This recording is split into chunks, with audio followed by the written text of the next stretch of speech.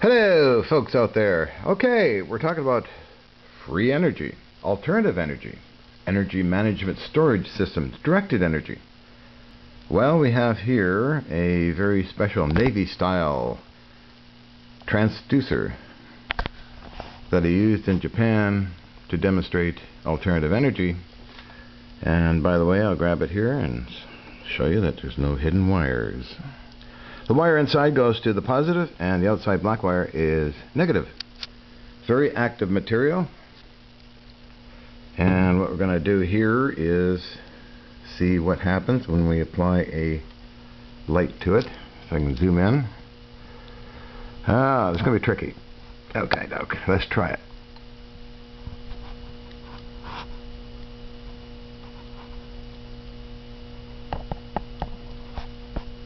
Don't think we got anything yet. Oh, there we go.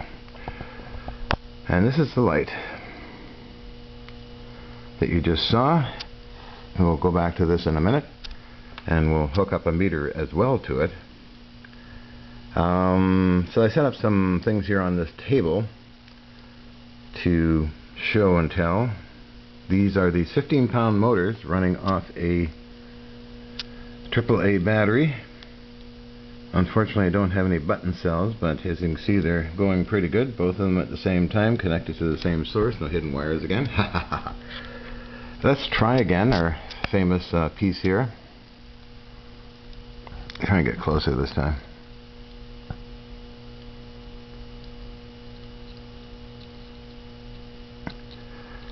And what we're going to do is do a measurement, voltage measurement here. Okay, one lead. Yep, uh, uh, come on. And don't shock me. Okay. Up, oh, came off. Okay. I think we got the results we wanted. Okie dokie. And up here.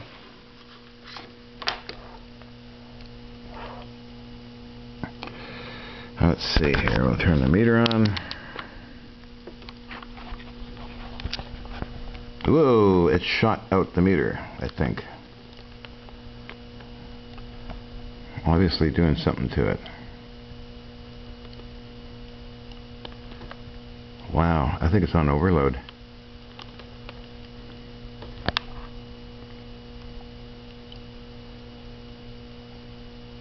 Very active material. If I grab it, of course, I hope I don't get, no, I guess, no, nothing happens. Same kind of reading.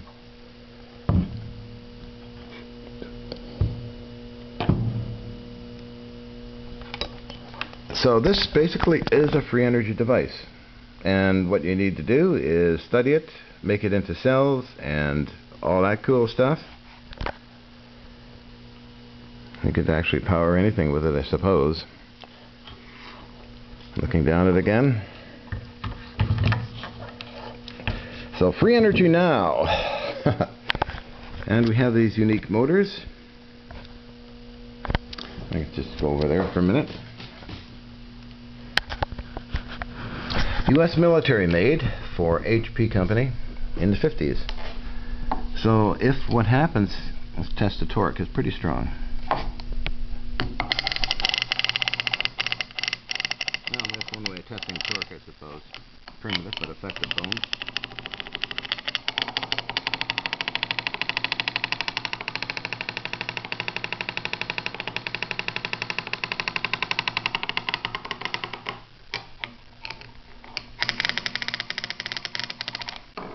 Alright, disconnect. I'll show you another cool, cool trick here. The are generators as well. It's disconnected from the battery and when I turn this here, of course, the other one turns. And vice versa! So these uh, will put out 24 volts at about 400 revolutions.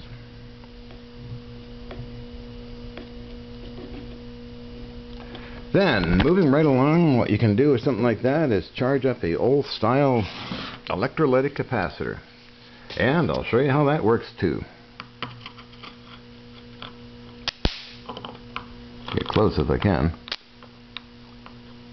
I pre-charge it, by the way.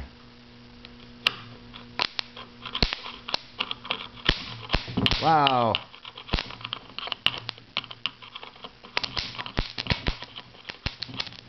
These are old-fashioned capacitors that hold hell of a charge. Could make a good welding machine, I guess, right? you can also take a 9-volt battery and put it on top and charge it up. It'll do the same thing. So this is kind of like energy management system. You won't get this through an ultra capacitor, by the way, but the old style electrolytic. Did we discharge it? And moving right along to directed energy. Cool stuff. Well, we have a machine here, radio generator. Turn it on. Uh, on button, please. And we can have fun here. Grab the bulb, it's a light bulb, ordinary light bulb. Apply it here. And guess what? It lights up.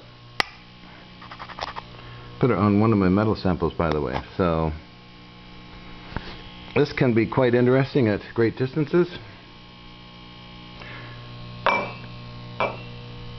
We demonstrate that on uh, truTV.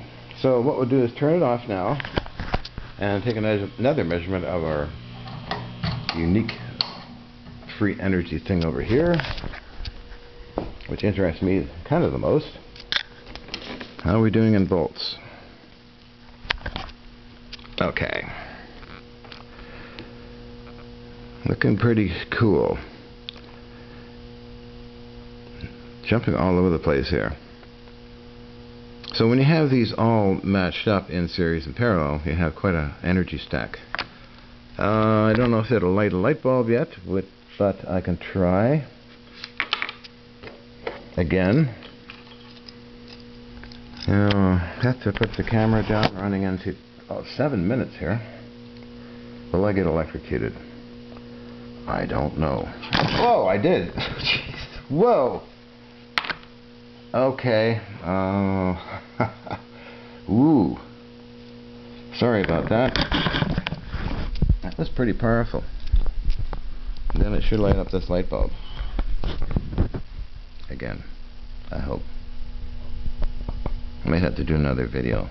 Pulsed energy. Oh, it did. So it lit up the light bulb, rated for 110 volts. Again, um, no hidden wires. Move it all around, put it on the floor, and maybe even do a test on the floor.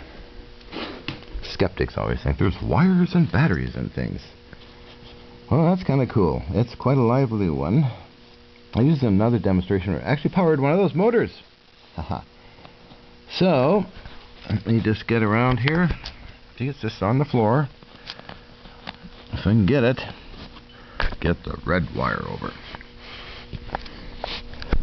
Okay, now get here to the light. This is where you need it. A lot of production stuff here. There it goes again. Pulse power. Discharges and rebuilds and sends out anywhere from oh several volts to 5000 volts. Let's see if it does it again. Yes, it does it again. So we have pulse power coming out of this special cylinder here, which give you a hell of a zap. You see it's just sitting on the floor. I don't know what that is. Looks like a burn mark or something. Anyway, any other info on this guy? I know they resonate at 18.5 kilohertz. That was measured by the Kyoto Institute of Technology. So, I'm looking for a bit of investments to get this off the ground and into production. And let's see if we can get another one one more time here before I'm going to run out of camera uh, memory here. Kind of zoom in on it. Yep, another one coming off our powerful cylinder there's no transmissions going on here, uh, like um, a Tesla transmitter or anything like that. Oops, the thing fell off. I wonder if we can get a spark off of it. Let's check that out. Okay. Yeah, I got a bit of a spark. I don't know if the camera picked it up. So, barium titanate, specially made for the U.S. Navy Department. and running right along. Let's check our motors again. When I turn this wheel, generator takes a button batteries actually run them as well. Is this guy recharged at all? No, I think he's had it. But again, I can attach one of these generators to this and charge it up, as well as one of these here. The special barium titanate.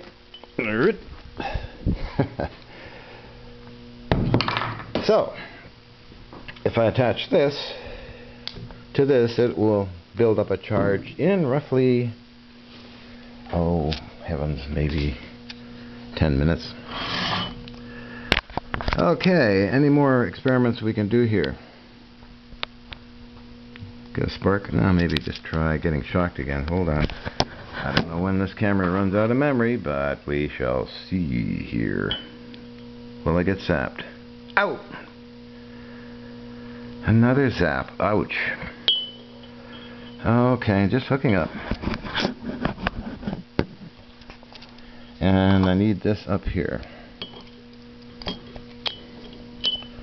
I'll lay it on its side then. Good grief.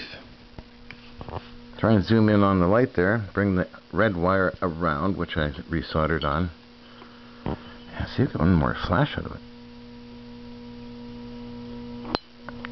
Yeah, we got another flash out. So it's pulse power. Builds up, builds up, builds up, discharge, build up, discharge.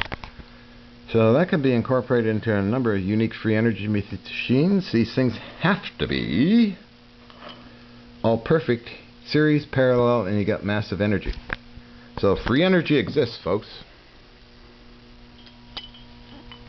Again, uh, no Tesla transmitters powering this thing. It's just unto its own. And if you're interested in supporting my technology, please uh, check out Google search out Hutchison Effect Japan, where I gave a demonstration before a TV audience, as well as a scientific team on using this stuff, actually. I sold it to the Japanese. They want them so desperate they're giving me six grand for it. Anyhow, folks, uh, thank you for your attention. Have a great day, and it was fun doing this, actually. So take care, folks.